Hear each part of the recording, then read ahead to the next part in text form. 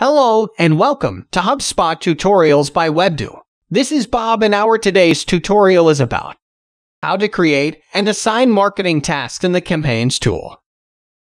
In HubSpot, you can create tasks to help you and your team to keep your marketing campaigns organized.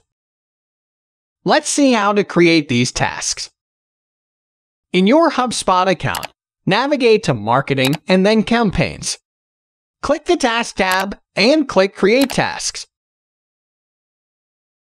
Enter the title for the task. Choose Task Type. Select the campaign you want to associate the task with. Assign it to a team member. Set a due date and due time for the task. Enter any notes for the task. Click Save to save the settings.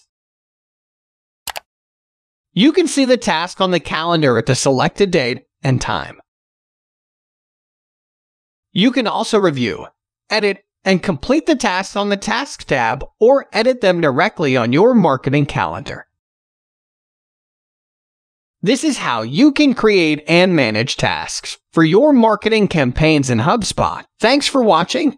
Feel free to ask any questions in the comment section, and we will be happy to answer. If you like the video, give us a thumbs up and press the bell icon to subscribe to our channel. To know about our HubSpot services, visit us on www.webdew.com.